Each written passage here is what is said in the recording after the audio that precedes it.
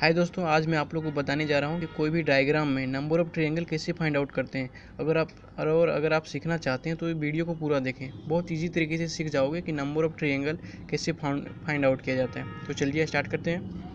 सबसे पहले इसको, इसमें हम देखते हैं। इसमें तो number of triangle find out करने की ज़रूरत नहीं है, क्योंकि इसमें तो सिंपल एक ही है। इसका कोई टेंशन नहीं है। हम चलिए इसको छोड़ देते हैं इसमें तो इसको छोड़ देते हैं, अब इसमें आते हैं। इसमें टोटल नंबर ऑफ़ ट्रेंगल कितना होगा? अगर हम ऐसे काउंट करेंगे, ये एक, फिर ये एक हो गया, ये दो हो गया, ये तीन हो गया, ये चार हो गया, या फिर दोनों मिला के एक हो गया, पाँच हो गया, दोनों मिला के एक हो गया छः हो गया इस तरह तो बहुत टाइम लग जाएगा और गलत भी हो सकता है। और उतना एग्ज़ाम में मेरे पास टाइम नहीं रहता है कि हम उसको निकाल सकते इसके लिए हम क्या करते हैं? नंबरिंग कर देते हैं। वन टू थ्री फोर अब चारों को ऐड कर दो। One plus two plus three plus four बाकी one two three three six six और फोर टेन इसमें total number of triangle ten है। इसी तरह हम इसमें निकालते हैं। One, two, three, four, five, six. One plus two plus three plus four plus five plus six. One, two, three, four, five, six. अब इसको सबको जोड़ दो। One, two, three three, six six और फोर, टेन टेन और five, fifteen fifteen और six, twenty one. इसमें total number of triangle twenty one है। अगर इसमें इस तरह किया जाए, इसको दो भाग से डिवाइड कर दिया जाए। दो भाग में डिवाइड किया जाए। तो मतलब टोटल नंबर ऑफ़ ट्रेंगल पहले कितना था? वन है। अब इसमें कितने भाग में डिवाइड किया गया? वन और एक वन टू इसको दो से मल्टीप्लाई कर दो। ये total number of triangle one हो जाएगा टू इसी तरह इसमें फाइंड आउट करते हैं। अगर मान लीजिए अभी ये नहीं है, ठीक तो?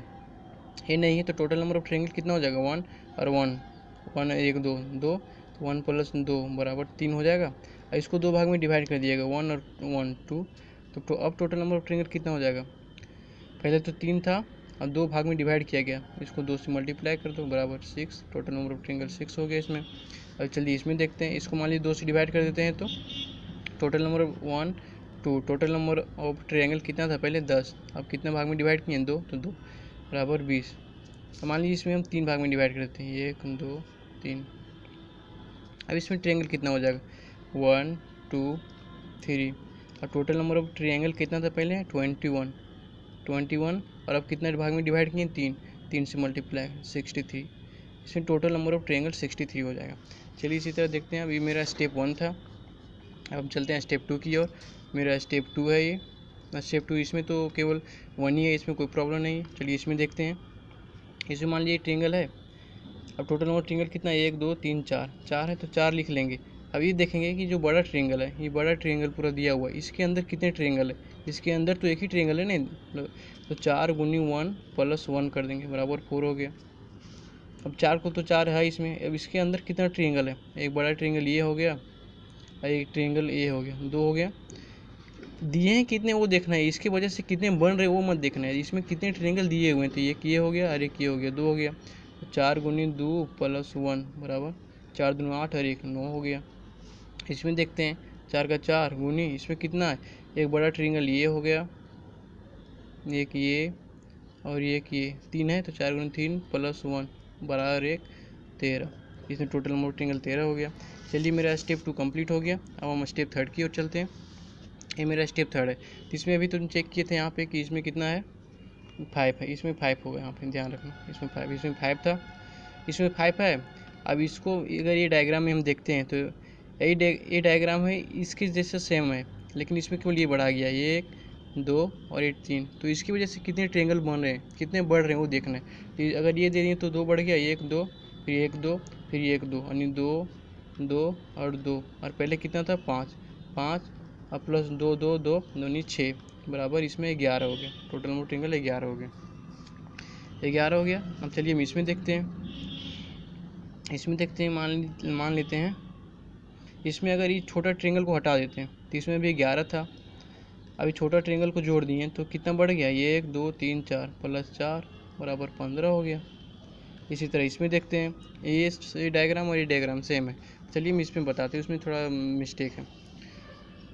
मान लेते हैं अभी इसको, जो ये दिया हुआ है सो, ये दिया हुआ है सो, और ये दिया हुआ है सो, इसको हटा देते हैं तो कितने इसमें कितना है? पंद्रह है, ठीक तो।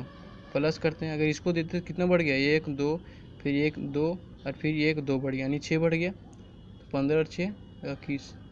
इसमें टोटल नंबर ट्रिंगल कितना हुआ? इक्कीस। ये मेरा स्टेप थर्ड था, अब चलते हैं स्टेप फोर्थ की ओर।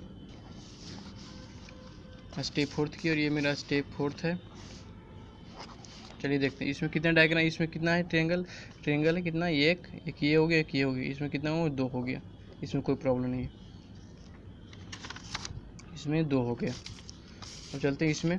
इसको नंबरिंग करते हैं। एक, दो, तीन, चार। जो हाइस्ट आया, उसको दो से मल्टीप्लाई कर दो। चार इंटू दो बराबर आठ। टोटल नंबर ऑफ़ ट्रेंगल कितना हो गया? आठ हो गया। अगर चेक करना चाहो तो देख सकते हो। एक, दो, तीन, चार हो गया। एक ये हो जाएगा पाँच। एक ये हो जाएगा छः। एक ये हो जाएगा सात और एक ये हो जाएगा आठ। चलते इसमें। फिर इसमें नंबर करिए एक, दो, तीन, चार, पाँच, छः। अब हाइस्ट छः आया। सिक्स को दो से मल्टीप्लाई करो। जो हाइस्ट आएगा, उसको दो से मल्टीप्लाई करेंगे। कितना आएगा? बारह। इसमें टोटल नंबर बारह हो जाएगा। One two three four five six seven eight इसमें एट आया तो इसमें आप कितना ट्रेंगल लगा आप ध्यान लगाओ। पता लगा कितना होगा। एट सबसे अधिक है। तो एट गुनी टू बराबर सोलह हो जाएगा। इसमें ध्यान रखना कि अगर इस तरह है, इस तरह है तो इसमें आठ होता है। ठीक है? अब चलिए आगे चलते हैं। मान लीजिए इसमें total number total number of triangle find out करना है। कि, कितना होगा इसमें तो हम जानते हैं कि इसमें आठ होता है। और इसमें भी जानते हैं कि इतना का आठ होता है। आठ प्लस आठ प्लस अब जो इस दोनों में दोनों डायग्राम में जो कॉमन पॉइंट आएगा कॉमन पॉइंट इसके लिए उसको लिखेंगे। मान लीजिए इसको इसको लेते हैं कॉमन पॉइंट ये आया इसको इसको लेते हैं इसको इसको और इसको इसको और इसको लेते हैं कॉमन पॉइंट ये आया इसको और इसको लेते हैं कॉमन पॉइंट ये आया। दो कॉमन पॉइंट आया दो। बराबर आठ आठ सोलह दो अठारह। टोटल नंबर ट्रेंगल अठारह हो जाएगा। फिर इसमें आगे देखते हैं। इसके जानते हैं कि इसमें आठ होता है, फिर इसमें आठ होगा, फिर इसमें आठ होगा। यानी आठ प्लस आठ प्लस आठ प्लस अब कॉमन पॉइंट देखते हैं। इसको इसको लेते तो कॉमन पॉइंट एक हुआ, इसको इसको लेते तो कॉमन पॉइंट ये हुआ, दो, इसको इसको कॉमन पॉइंट ये, इसको इसको लेते कॉमन पॉइंट यानी कॉमन पॉइंट चार हो गया। यानी आठ ये चौबीस और चार अट्ठाईस, इसमें अट्ठाईस होगी कॉमन पॉइंट इसलिए लेते हैं, देखिए, मान लीजिए इसमें नहीं थी, इसमें केवल आठ था, इसमें भी आठ था, लेकिन देखो, अगर दोनों मिलाते हैं तो एक ये बढ़ा और एक ये बढ़ा, इसीलिए कॉमन पॉइंट लेते हैं। इसी तरह इसमें एक ये बढ़ा, इसमें एक ये बढ़ा और एक ए बढ़ा था, ठीक है? चलते हैं इसके, इसमें। इसमें तो जानते हैं कि आठ होता है, फिर इसमें आठ होता है और फिर इसमें आठ होता है। यानी आठ प्लस आठ प्लस आठ। आप कॉमन पॉइंट देखते हैं, अगर इसको इसको लेते हैं तो कॉमन पॉइंट ये हुआ। इसको इसको लेते हैं तो कॉमन पॉइंट ये हुआ, इसको इसको लेते हैं तो भी कॉमन पॉइंट ये हुआ, ये दो बार आता है। इसको इसको लेते हैं तो कॉमन पॉइंट ये हुआ, यानी कॉमन पॉइंट चार हुआ। और एक हिडन ट्रिंगल ये हिडन ट्रिंगल ये बड़ा ट्रिंगल ऐसे आओ, ऐसे, और ऐसे। प्लस वन इजिकल टू आठ या चौबीस चौबीस, चार अट्ठाईस और एक, उनतीस। इसमें टोटल नंबर ट्रिंगल उनतीस हो जाएँगे, ठीक है? अब चलते इसमें। इसमें देखते हैं इसमें टोटल नंबर ऑफ़ ट्रिंगल कितना हुआ है, कितना है। मान लीजिए इसमें तो आठ होता है, हम जानते हैं इसमें भी आठ होता है, इसमें भी आठ होता है, इसमें भी आठ होता है। यानी आठ प्लस आठ प्लस आठ प्लस आठ। प्लस हम देखते हैं इसमें कॉमन पॉइंट क्या है? कॉमन पॉइंट ये किए हो गया, एक दो हो गया, ये दो बार आएगा, ये भी दो बार आएगा। यानी चार हो गया, चार कॉमन पॉइंट हो गया, प्लस हिडन ट्रिंगल देखते हैं। एक ए हो गया, एक ट्रियंगल ऐसे ऐसे, फिर एक ऐसे, दो, फिर एक ऐसे, तीन, प्लस तीन, बराबर आठ चौक बत्तीस, चार, बत्तीस और चार, आठ चौक बत्तीस, चार, अड़तीस अड़तीस और तीन अड़तीस और तीन इकतालीस टोटल नंबर ट्रिंगल एक, आठ चौक बत्तीस बत्तीस, चार, छत्तीस छत्तीस और तीन उनचालीस उनचालीस और दो और होगा। इसमें चलिए देखते हैं। प्लस यहाँ पे छः छः पॉइंट होगा, नहीं, दो दे, दो कॉमन पॉइंट दो कॉमन पॉइंट चार और दो छः तो इसलिए यहाँ पे छः होगा, छः और तीन नौ, यानी इकतालीस होगी, इसमें इकतालीस होगा। अब चलते इसमें। इसमें हम, इसमें जानते हैं कि इसमें आठ होता है। इसमें भी आठ होता है, इसमें भी आठ होगा, इसमें भी आठ होगा। यानी आठ प्लस आठ प्लस आठ प्लस आठ प्लस कॉमन पॉइंट एक एक बार आया, एक, दो, तीन, चार, अरे चार बार आएगा। यानी एक, दो, तीन, चार और चार, आठ। प्लस हिडन ट्रिंगल देखो, ये किए हुआ।